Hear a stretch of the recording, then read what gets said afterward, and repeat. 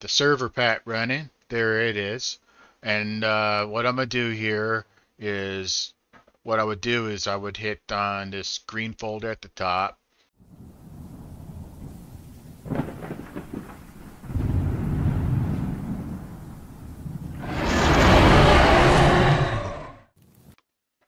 Okay, it should possibly be no secret that I make mod packs.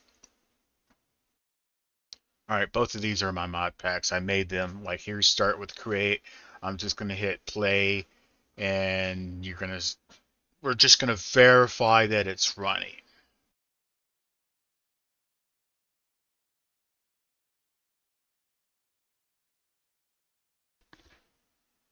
All right, so it is loading. It won't take long to load. There's only 180 mods in it. Go. We've gone full screen. We're just proving that it's running. There we go. Start with create is up. I know it's gaudy. I'm going to have to rework that.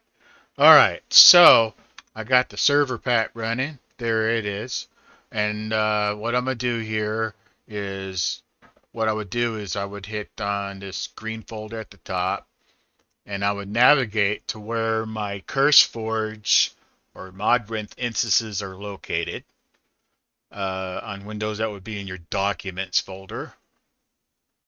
And then I would click on the folder that contains the mod pack that I made. So open it like that. It'll say some things. You can ignore everything that it says. You can hit Control S to make that thing go away. You can give it a version number. If you're going to be publishing, you might want to give it a version number. You can ignore all of this. Everything is explained in the wiki, though. There's a wiki, um, which will show up when you hit help. Or you can click the step-by-step -step guide to really explain everything. But you can ignore all that and just hit generate.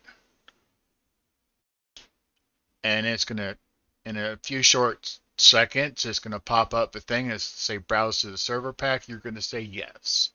If you're on Windows, you're going to double click start bat and if you're on Windows or Mac, you can do Start SH. And if you're on Windows and you're one of those elite people and you understand PowerShell, you can hit Start PS1. That's PowerShell. I'm on Linux, so I'm going to hit the Start SH. So I'm going to hit Run in Terminal.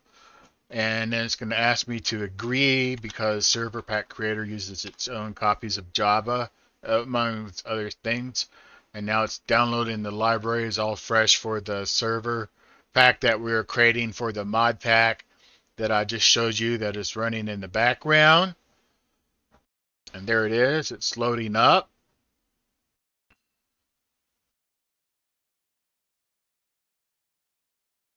It's a really short mod pack. We don't have to wait long at all.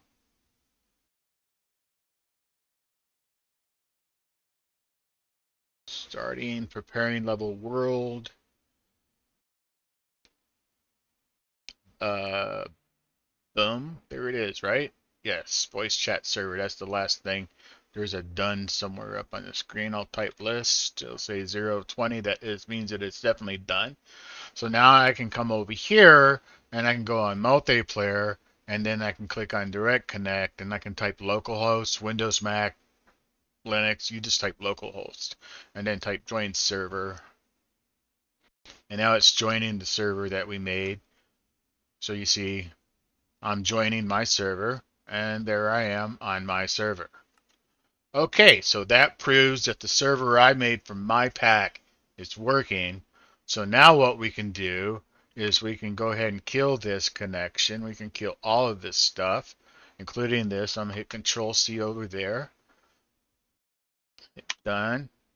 And then what we're, and so we have, so it created something. So let's go over here back to the server pack creator and you can go to where it says server packs and then at server, and then you find the one that's named the thing that you just did, or you can go by the date.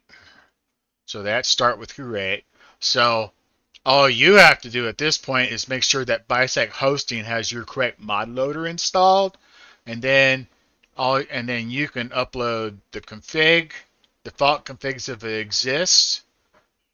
Ignore anything I don't highlight.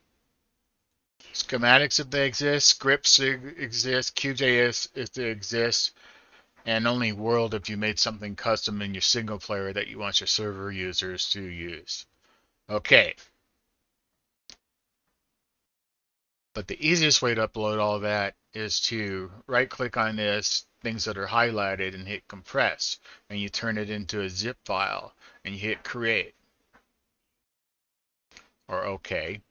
And now I have it as a zip file right here. I would upload that to my server, just drag it over there. I guess you might want to see me do that too. So we'll go over here to the panel. Uh, Don't know, bisect hosting and panels.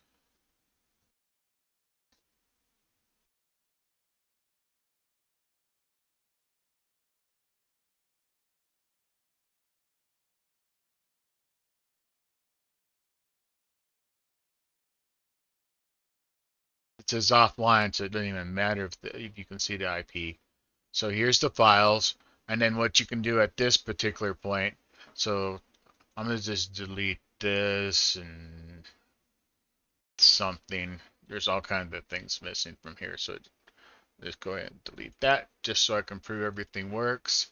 And then what we're gonna do is we're gonna hit upload, and I'm gonna go to where that um, server packs were. I have little short links that get me around easier. And if you're going to be doing this off, then you're going to want to do the short links. And we know we did it in there. And there that is. And I'm hit open. Or you could drag it to this. You can hit upload and you can drag it to this screen. Okay, there it is.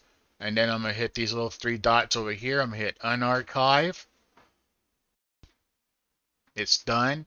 So the config folder, the default configs, the mods, and the scripts and the schematics all came out of there. And that's how you get it on your server.